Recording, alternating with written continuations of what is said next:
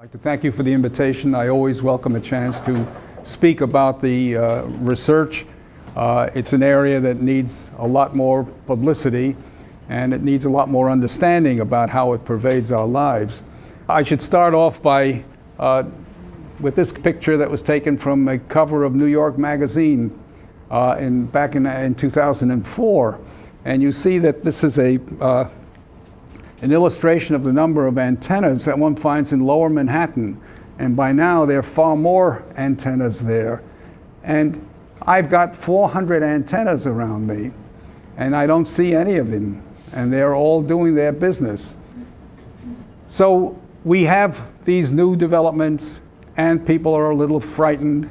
They're, we don't know what to make of them. How do we find out what really is behind them? What, what effect are they having on us and on our health? And there have been many studies, and there, I quote here one by Hardell, where he finds that if people have been using cell phones for 10 years, there's a 10 year latency period, there's an increased odds ratio. That is, one gets, it's almost three times as much likely, likelihood of getting, developing glioma, and the same whether you've got a mobile phone or a cordless phone.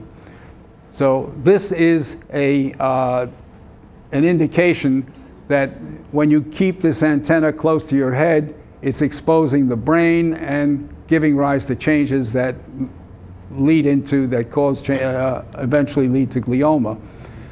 In this data set, there was a subpopulation of people who started using uh, the cell phone before they were 20 years old. And if they have used it for, since they've used it for 10 years since they were uh, younger than 20, the odds ratio more or less doubles. So if you're younger, not only do you have the uh, prospect of uh, being exposed more over a, a, period of time, but the changes that occur uh, in your brain apparently are much, uh, much more harmful for the, uh, to your health. Now, I quoted the Hardell st study. That's only one study that has come out, and the reason I, I quote it is because that is a study that's done by an independent investigator. He is uh, not funded by industry, and his methods are generally considered to be above any kind of suspicion or any sense that they're, that they're in any way tainted. Uh, one of the problems with industrial support is that there tends to be a, an uneasy correlation between the level of support that one gets and the outcome of the result of, of the study. For example, if one studies the effect of RF, looking for an effect versus no effect, you get roughly the same number of results for effect and non an effect. However, if you divide the studies up into two categories, those that were funded by industry and those that were not funded by industry, but by independent agencies or some other way, then you find there's a clear difference in the, in the way in which the results come out. Stuff that is funded, research that is funded by industry, tends to find no effect. Two thirds of the results are that way. So there is reason to suspect anytime you get in industrial support for a project, there's, the results are suspect. And there's a book that's come out recently by David Michaels called Doubt is Their Product How Industry's Assault on Science Threatens Your Health. And it's written by someone who worked in the US government and saw how the US government was manipulated. The various agencies of the government, uh, the various appointments from people from industry that came into government, that somehow they were able to stop the government from regulating things that were definitely dangerous. But it's fascinating when you see the extent to which the government has allowed this to happen. Now, I want to show you another thing, another source of RF in our environment, which we've been living with for quite a while, that we don't think about we, we, when we talk about cellular phones. And this is the uh, antennas that are broadcasting FM and TV and the UHF.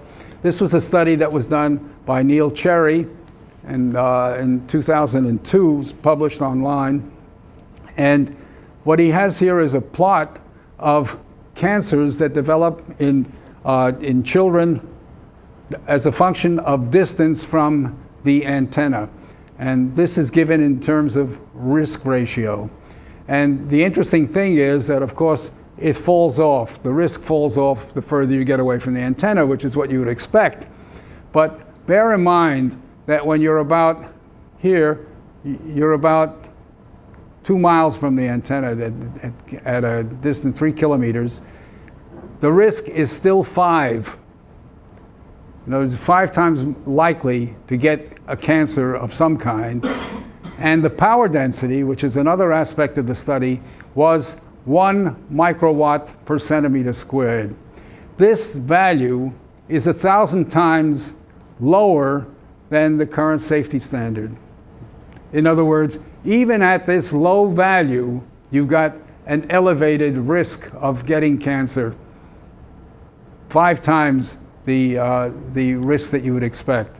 So that the current safety standard, which is based on the, the thermal standard, uh, is clearly not providing any kind of protection for certainly this kind of disease. People have to look at the biology that is now known and make adjustments to what we consider safe, a safe level. And we gave values in the bioinitiative report, and I put down the values here. Uh, and you'll see that the ELF values are approximately a thousand times lower than the values that are prevailing now, that are recommended by the agencies. The same is true for RF.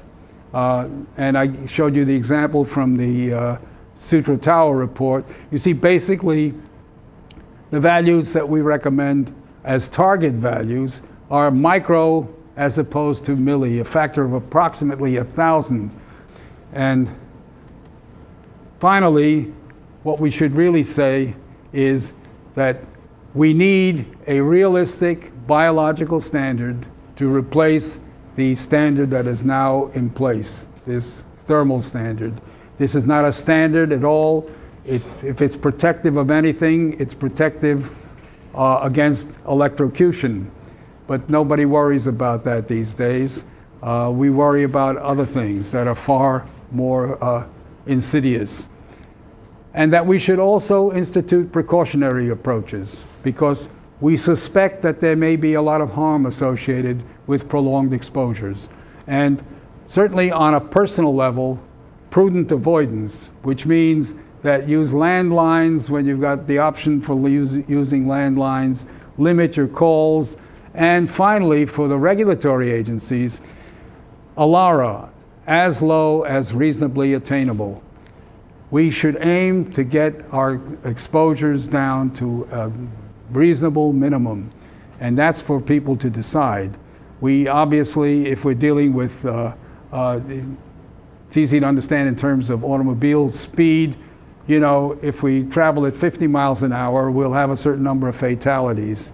If we raise it to 60 miles an hour, we'll obviously have more fatalities. The question is, uh, how many fatalities is our society willing to live with? Or with EMF, we know that exposure of some kind is going to have its consequences biologically, and there'll be a segment of the population that will succumb at some level. And what's, what we have to do is to decide as a society what is the level at which we want to set that. And that's a political decision. I think the scientific decision is clear that the standards have to be looked at again and have to be reset. Thank you.